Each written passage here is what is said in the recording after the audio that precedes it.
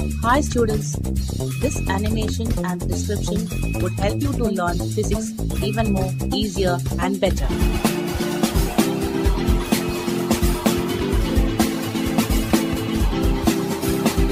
So please do watch it and enjoy learning physics.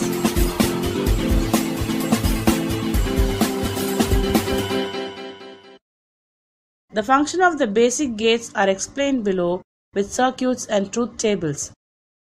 OR gate.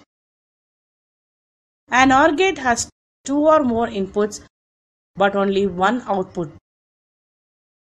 It is also known as OR gate because the output is high if any one or all of the inputs are high.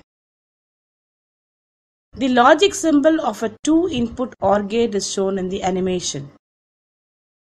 The Boolean expression to represent OR gate is given by y is equal to a or b. The OR gate can be thought of like an electrical circuit shown in the animation in which switches are connected in parallel with each other. The lamp will glow if both the inputs are closed or any of them is closed.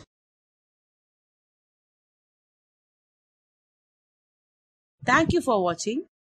Please subscribe this channel for more videos.